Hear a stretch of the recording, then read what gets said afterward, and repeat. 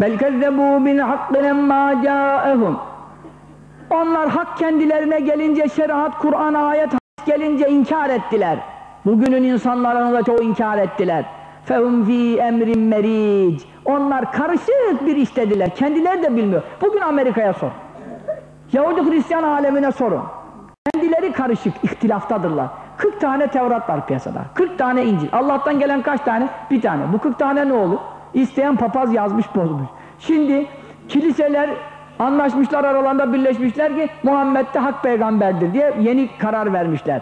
Dinlerinden dönmüyorlar da Efendimiz de bu zamana kadar sahtekardı şimdi doğru olmuş.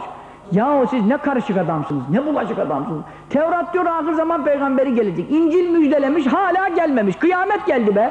Daha ne kal?